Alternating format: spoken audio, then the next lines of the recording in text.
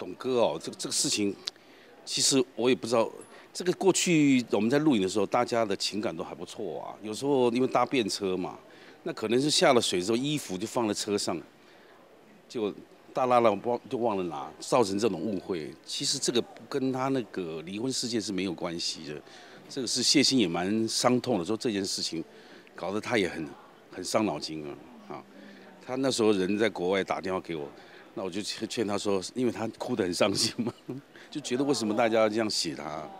当然了，因为他他就是刚度过这个这个这个，就大家又把他这个好像又拖了一坨丢了一坨大便给他那种感觉，他是蛮委屈的啦。那我说没关系啦，等你回来好好澄清就好了。嗯。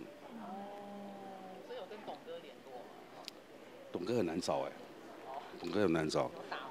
而且，在说实在，最近大家回来都忙的事情是都是周遭的事情嘛，然后家里的事情、防疫的事情啊，啊，而且我刚从新加坡回来，我们新加坡回来的时候是我是二月六号回来，其他团队二月二号就回来，我多待几天是因为有家里有亲戚在那边，那时候整个新加坡也不过八例而已啊，那我们回来之后，经过这十天，它已经变成五十八例了，所以你看，现在大家的心情。都在这个疫情上面嘛，也比较少会管一些风花雪月的事情。